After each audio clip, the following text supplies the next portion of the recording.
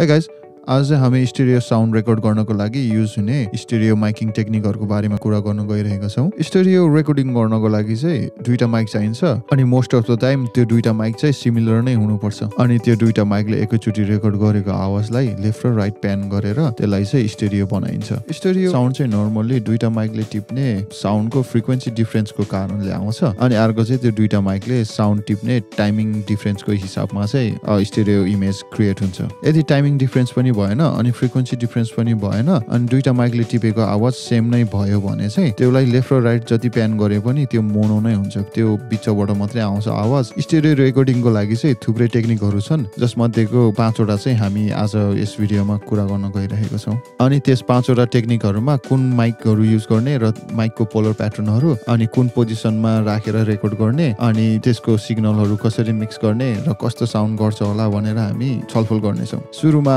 एभी studio recording technique यसलाई space pair पनि भनिन्छ। यो टेक्निकमा चाहिँ नर्मल्ली दुईटा स्मल डायफ्राम कन्डेन्सर युज गरिन्छ जुन चाहिँ कि सेम हुनुपर्छ। यसको पोलर प्याटर्न चाहिँ ओम्नी डिरेक्सनल हुनुपर्छ। सो पोजिसनको कुरा गर्नु पर्दा चाहिँ दुईटा माइकलाई चाहिँ नर्मल्ली इन्स्ट्रुमेन्टतिर फर्काएर राखिन्छ अनि दुईटा माइक चाहिँ एक अर्कासँग चाहिँ प्यारोल हुनुपर्छ। अनि त्यो माइकहरू चाहिँ थ्री टु वान रेसियोमा यदि इन्स्ट्रुमेन्टबाट एउटा माइक एक मिटरको दुरीमा छ भने त्यो दुईटा माइकको बिचको दुरी चाहिँ तिन मिटर हुनुपर्छ। यसले गर्दा चाहिँ पछि फेस क्यान्सलेसनको प्रब्लम चाहिँ हुँदैन। अनि यसरी दुईटा माइकले लिएको आवाजलाई चाहिँ लेफ्ट र राइट प्यान गरेर स्टेरियो आवाज मिक्स गरिन्छ। सो यो टेक्निकमा हामीले युज गरेको ओम्नी माइकको कारणले चाहिँ हाम्रो इन्स्ट्रुमेन्टबाट माइक जति टाढा या नजिक भए पनि यसले चाहिँ लो फ्रिक्वेन्सी लुज गर्दैन। स्टेरियो आवाज चाहिँ त्यो दुईटा माइकले रेकर्ड गरेको साउन्डको टाइमिङ र फ्रिक्वेन्सी डिफ्रेन्सले गर्दा भएको टाइमिङको डिफ्रेन्सको कारणले गर्दा चाहिँ दुइटालाई बिचमा प्यान गरिदियो भने चाहिँ फेज इस्यु हुन सक्छ अनि आवाज चाहिँ अलिकति फनी सुनिन्छ। यो टेक्निक चाहिँ मोस्टली ड्रम्सको ओभरहेडहरू रेकर्ड गर्नलाई युज हुन्छ।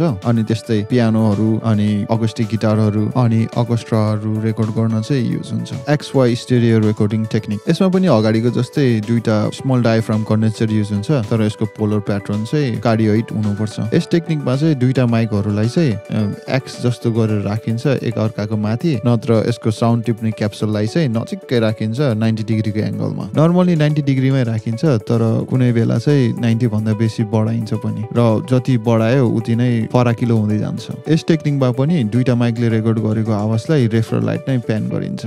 यस टेक्निकमा हामीले कार्डियोइड माइक युज गरेको हुनाले चाहिँ इन्स्ट्रुमेन्टबाट जति टाढा हुँदै गयो त्यति नै हाम्रो लो फ्रिक्वेन्सी चाहिँ हामीले लुज गर्दै जान्छौँ। एबीको भन्दा अलिकति कम फराकिलो हुन्छ। क्याप्सुलहरू एकदमै नजिक भएको कारणले गर्दा चाहिँ यसमा फेज इस्यु चाहिँ हुँदैन अनि दुइटैलाई मोनो बनाउन चाहिँ मिल्छ। यो टेक्निक पनि नर्मली त्यही अकुस्टिक गिटारहरू पियानोहरू अनि त्यसपछि इन्साम्बलहरू अनि त्यस्तै एम्बियन्ट आवाजहरू लिनलाई युज हुन्छ। अनि यो टेक्निक चाहिँ धेरै जस्तो ह्यान्ड हेल्ड रेकर्डरहरूमा पनि मजाले देखिन्छ। ब्लुम लेन स्टेरियो रेकर्डिङ यो रेकर्डिङ टेक्निक चाहिँ ठ्याक्कै एक्स वाइ रेकर्डिङ टेक्निकसँग मिल्छ। भिन्नता भनेको खालि रेकर्ड गर्ने माइकहरूमा मात्रै हो। एक्स वाइ रेकर्डिङ टेक्निकमा चाहिँ हामीले कार्डियोइक माइक युज गर्थ्यौँ भने यसमा चाहिँ हामीले बाई डाइरेक्सनल माइक युज गर्नुपर्छ। Figure of eight polar pattern भएको। यसको पोजिसन पनि सेम एक्स वाइ टेक्निकको जस्तै हुन्छ। दुईटा माइकलाई चाहिँ नाइन्टी डिग्रीको एङ्गलमा राख्ने। अनि यसको मिक्स गर्ने तरिका पनि त्यही नै हो। यो टेक्निकमा हामीले बाई डाइरेक्सनल माइक युज गरेको हुनाले यसले पछाडिबाट पनि टिप्छ जसको मतलब चाहिँ यसले रुम एम्बियन्सहरू पनि मजाले नै दिन्छ र यसले क्याप्चर गर्ने आवाज चाहिँ अलिकति फराकिलो नै हुन्छ अलिकति रियलिस्टिक नै सुनिन्छ।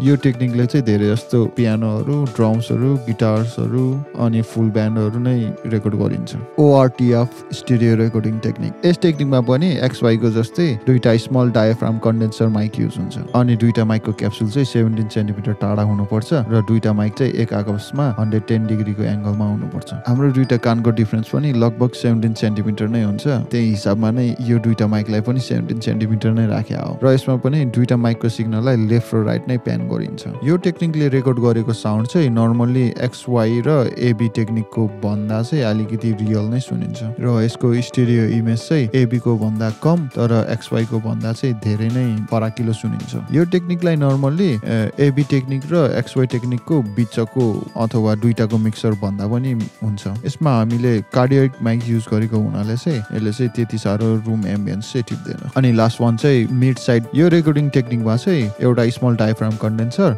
कार्डियोइड कि त ओम्नी डिरेक्सनल अनि अर्को चाहिँ figure of eight polar pattern भएको बाई डाइरेक्सनल माइक युज हुन्छ। माइकको पोजिसन चाहिँ अलिकति भिन्नै हुन्छ यसको चाहिँ। कुनै पनि इन्स्ट्रुमेन्ट अथवा साउन्ड सोर्सको अगाडि बाई डाइरेक्सनल माइक चाहिँ यसको क्याप्सुलहरूले चाहिँ साउन्ड सोर्स अथवा इन्स्ट्रुमेन्टलाई चाहिँ फेस गर्दैन साइडतिर फेस गर्छ। अनि अर्को कार्डियोइड अथवा ओम्नी डिरेक्सनल माइक चाहिँ ठ्याक्कै बाई डाइरेक्सनल माइकको माथि कुनै पनि इन्स्ट्रुमेन्ट अथवा साउन्ड सोर्सलाई फेस गरेर त्यहीतिर पोइन्ट गरेर राखिन्छ। यो टेक्निक चाहिँ मिक्स गर्न अलिकति कम्प्लिकेटेड छ। यसको लागि चाहिँ सर्टेन रुल्सहरू छ। सो बायोडाइरेक्सनल माइकबाट आएको सिग्नल चाहिँ डुप्लिकेट गरिन्छ अनि एउटाको पोलारिटी चाहिँ उल्टो गरिन्छ। ओरिजिनल च्यानल र डुप्लिकेट च्यानललाई चाहिँ लेफ्ट र राइटतिर प्यान गरिन्छ। अनि बिचको माइकलाई चाहिँ कतै पनि प्यान गरिँदैन। बिचमै राखिन्छ अनि माइकको भोल्युमहरू एडजस्ट गरिन्छ। जति बायोडाइरेक्सनल माइकको भोल्युम बढाउँछ उति नै स्टुडियो इमेज चाहिँ चकिलो हुँदै जान्छ। सो यो टेक्निक चाहिँ अलिकति गाह्रो छ। तर एकदम धेरै एडभान्टेजहरू पनि छ यो टेक्निकको चाहिँ। यो टेक्निकले रेकर्ड गरेको आवाज चाहिँ एबी टेक्निकको जस्तो एकदम फराकिलो हुन्छ। अनि एक्सवाइट टेक्निकको जस्तो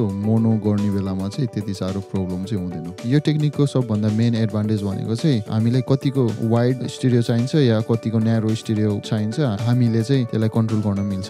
सो स्टुडियो आवाज चाहिँ अलिकति वाइड चाहिएछ भने चाहिँ यसको बाई डाइरेक्सनल माइक्रोफोनको भोल्युम चाहिँ अफ गरिदिने अनि त्यसपछि अलिकति कम चाहिएछ भने चाहिँ भोल्युम डाउन गरेर एडजस्ट गर्न सकिन्छ। यो टेक्निक पनि अरू टेक्निकहरू जस्तै जे रेकर्ड गर्दा पनि हुन्छ। स्टुडियो रेकर्डिङले चाहिँ पछि हाम्रो प्रडक्सनमा मिक्सिङको क्वालिटी चाहिँ एकदम राम्रो बनाइदिन्छ। स्टुडियो रेकर्डिङ गर्ने बेलामा चाहिँ एउटा पर्टिकुलर इन्स्ट्रुमेन्टलाई एकदम पर्टिकुलर टेक्निकले नै गर्नुपर्छ भन्ने हुँदैन।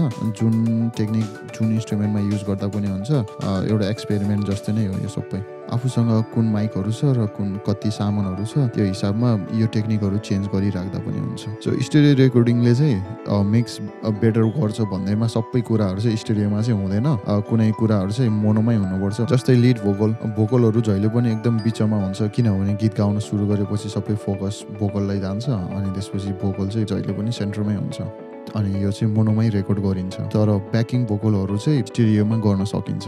अनि त्यस्तै स्नेयर ड्रम स्नेयर ड्रम चाहिँ अब ड्रम किटको सेन्टर पिस नै भइहाल्यो। त्यही भएर चाहिँ धेरै जस्तो यो चाहिँ सेन्टरमा मात्रै हुन्छ। अनि त्यस्तै किक ड्रम पनि सेन्टरमै हुन्छ। अब मोनोमै रेकर्डिङ गरिन्छ किनभने यसको लो फ्रिक्वेन्सीहरू अति नै पावरफुल हुन्छ अनि त्यो पावर त्यो पन्च दिनको लागि चाहिँ लेफ्ट र राइट एकतिर प्यान गरेर चाहिँ त्यो पन्च दिन सकिँदैन। त्यही भएर लेफ्ट राइट दुइटैमा इक्वल पावरले दिनपर्ने भएकोले चाहिँ यो चाहिँ जहिले पनि मोनोमै हुन्छ। अनि त्यस्तै बेस गिटार पनि जहिले पनि मोनोमै राखिन्छ बिचमै राखिन्छ। किनभने यसको लो फ्रिक्वेन्सीलाई धेरै पावर पनि चाहिन्छ अनि त्यस्तै अब लो फ्रिक्वेन्सीहरू चाहिँ मान्छेको कानले चाहिँ डाइरेक्सन पत्ता लगाउन चाहिँ अलिकति गाह्रो मान्छ। त्यही भएर बेस गिटारहरू पनि जहिले पनि मोनोमै राखिन्छ। यो बाइक स्टुडियो रेकर्डिङको चाहिँ अरू थुप्रै टेक्निकहरू पनि छ।